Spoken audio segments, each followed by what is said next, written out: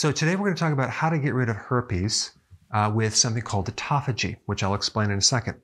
So herpes, there's many different types. It's identified by the location of the body part. You can have it in your mouth. Um, you can have it in your private parts.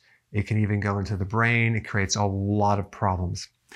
Uh, the herpes virus travels through the sensory nerves, and it can even hang out in these little nerve cell bodies called ganglion.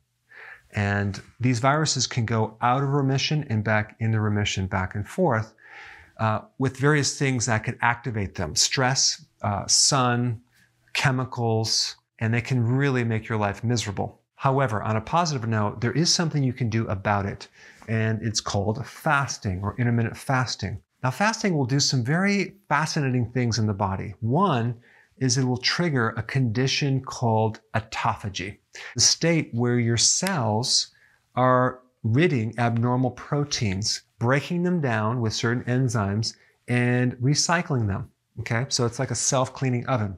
It will also um, recycle damaged organelles. Organelles are like the mitochondria, uh, endoplasmic reticulum, these different um, little parts of the cellular machinery that could be damaged. And what's really amazing is that autophagy will also target microbes, invading microbes.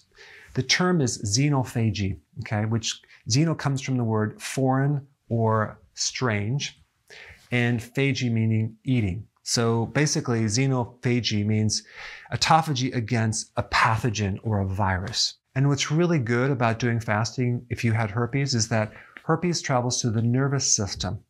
And autophagy is more efficient and more effective on neurons more than other cells. So it can be a very good tool to deal with this uh, infection.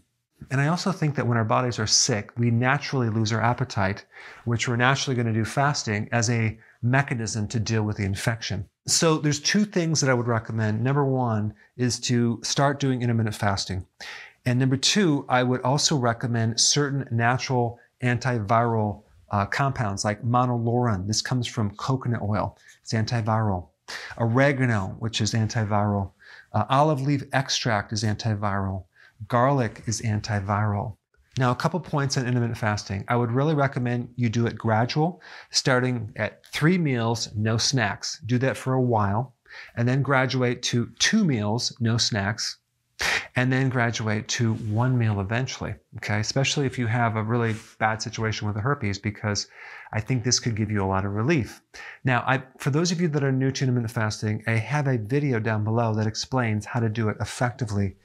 Um, autophagy starts being effective at 18 hours in your fast. Okay, and it kind of maxes out at about 23 hours. So if you were, that's why I was recommending doing two meals and then down to one meal to really get the full benefit of this.